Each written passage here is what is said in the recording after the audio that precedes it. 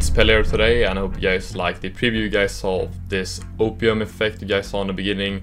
Thought it looked pretty cool. This is going to be no plugins, so anyone who has Effects can basically make this, which I'm uh, pretty excited about. And if you guys don't know, I have a website called editingvisuals.com where I have a lot of editing packs and to help you out with your editing. And I recently released some new editing packs, so be sure to check them out if you want to level up your editing game. Now let's get into the tutorial. So here I'm in After Effects, I've added some footage I'm going to be showcasing this opium effect on. So I'm using some clips here of Destroy Lonely from his music video If Looks Could Kill. Probably his most famous song I guess, so yeah, I think you guys uh, know it. Anyways, now I'm going to start making the effect. So we're going to start off by creating a adjustment layer by pressing Ctrl Alt Y.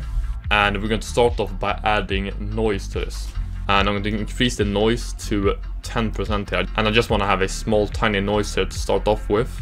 After that I'm going to be using threshold and here you can tweak the settings here depending on like how, how your clip looks.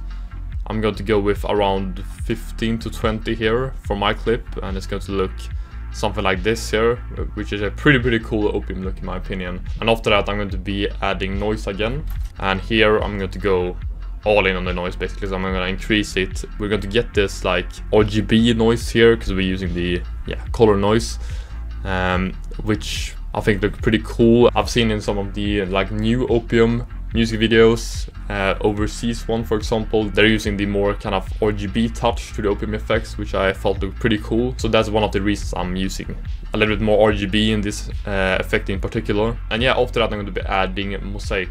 And here I'm going to be increasing the vertical blocks and the horizon blocks to around 300 so we will get this low quality cool looking opium effect here and I think this is a little bit desaturated so I'm going to be adding curves to this and just increase the contrast a little bit just like that. You could also add the brightness and contrast and increase the contrast there but I like to uh, yeah use curves then in that way you can tweak it a little bit more in my opinion. After that I'm going to be adding fast box blur.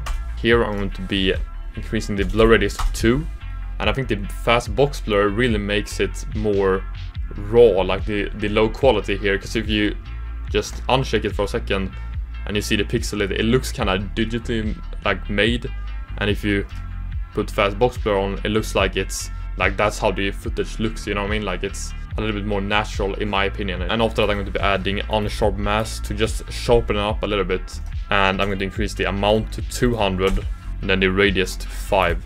So this is the difference with and without the fast box blur. It's gonna yeah, get that more natural look in my opinion. And after that, I'm going to be adding a posterize time. So we're going to get this laggy look here. Now I'm playing in quarter quality, but you guys get the point. It's going to be getting pretty laggy here. Looks pretty, pretty cool in my opinion.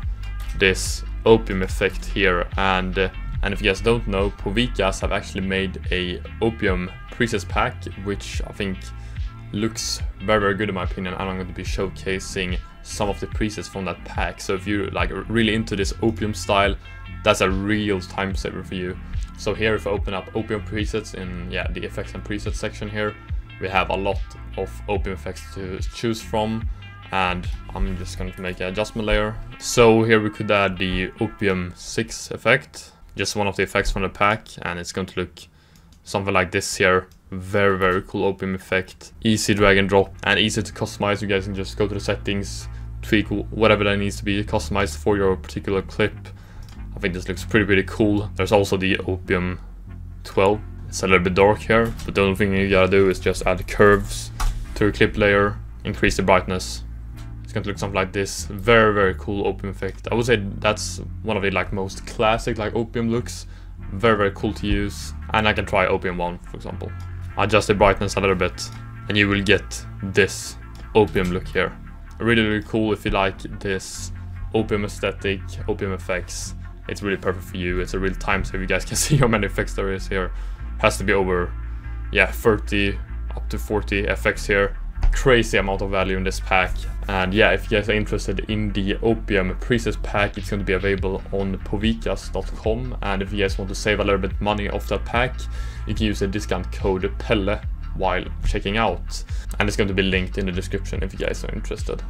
And for our own opium effect here, when you're done, if you want to save this as a preset, you just mark all of your effects here by pressing Ctrl A, then go to animation, save animation preset, save, and there we have it. Then we can use it for another time. It's very, very cool. And yeah, I hope you guys thought it looked cool as well. And uh, if you guys like this tutorial, don't forget to like and subscribe and share the tutorial. Don't forget to check out my website, editingvisuals.com.